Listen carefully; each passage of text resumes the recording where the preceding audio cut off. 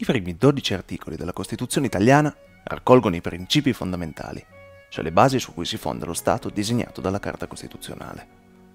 Il dodicesimo e ultimo di questi principi recita La bandiera della Repubblica è il tricolore italiano, verde, bianco e rosso, a tre bande verticali di uguali dimensioni. Perché, tra i principi fondamentali, si è dovuta aggiungere questa definizione della bandiera? Per capire l'articolo 12 dobbiamo tornare indietro, un viaggio ritroso di 150 anni. Dobbiamo superare le Alpi e arrivare a Parigi. È il 12 luglio del 1789 e a Parigi tira aria di fuoco. Due giorni dopo, con la presa della Bastiglia, la storia del mondo sarebbe cambiata.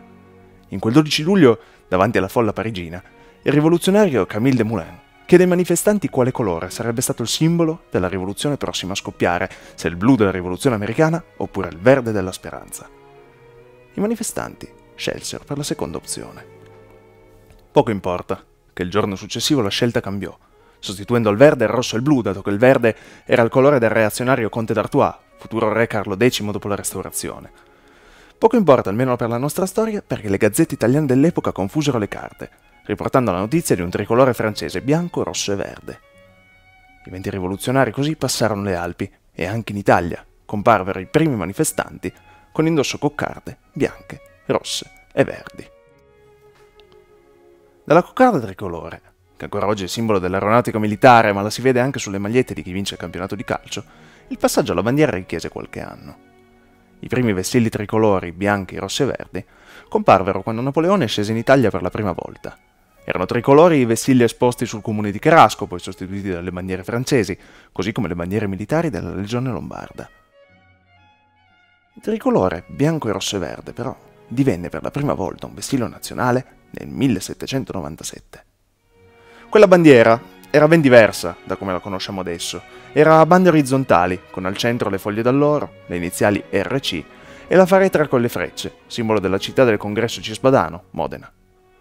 Quando nel giugno le due repubbliche napoleoniche, quella cispadana e quella transpadana, furono unite e nacque la Repubblica Cisalpina, essa raggiunse una forma a noi più nota.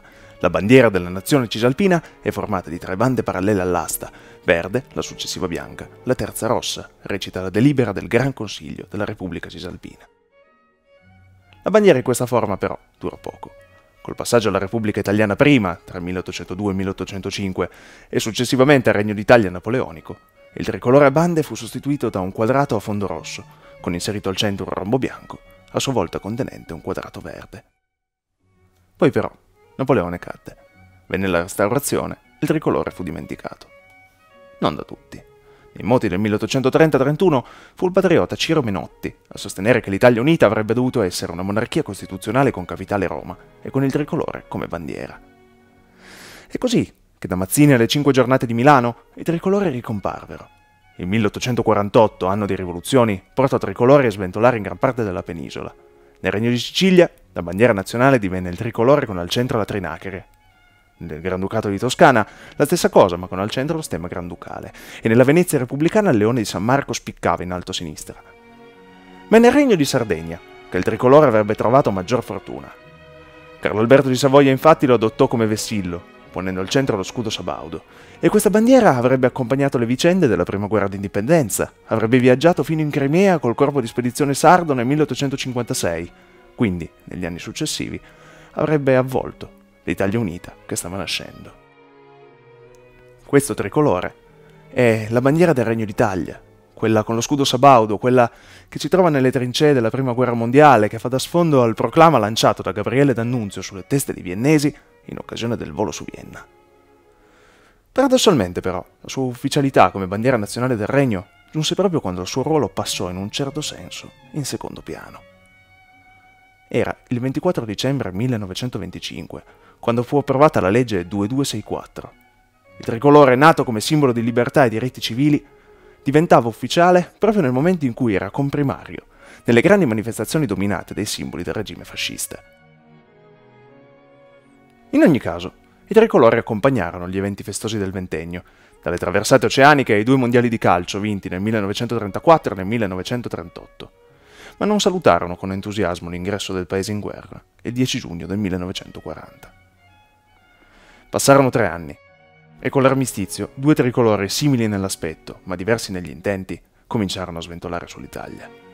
Da una parte c'era la bandiera di guerra della Repubblica Sociale, con al centro l'aquila romana che impugna il fascio littorio.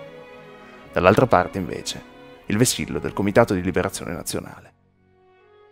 E così, che arrivati alla fine della guerra, la storia della bandiera si trova di fronte a un nuovo bivio. Stava nascendo un'Italia nuova, l'Italia repubblicana, e i padri costituenti erano chiamati a stabilire la nuova bandiera ufficiale, dal momento che non c'era più posto per lo stemma sabaudo. In un primo momento, la commissione preposta alla redazione del testo, la commissione dei 75, si interrogò su uno stemma da porre al centro della bandiera, dove avevano già trovato posto la croce di Savoia, la trinacria siciliana, la stella del CLN e l'aquila di Salò. Poi però presero un'altra via.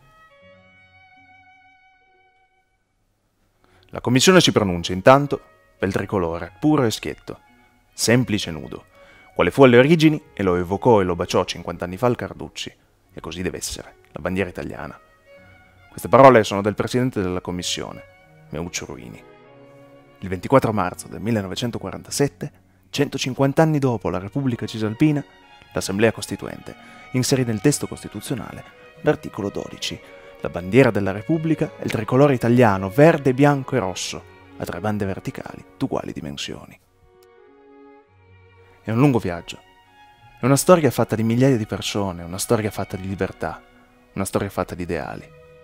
E tutto portato a questa semplice definizione, a questo principio fondamentale.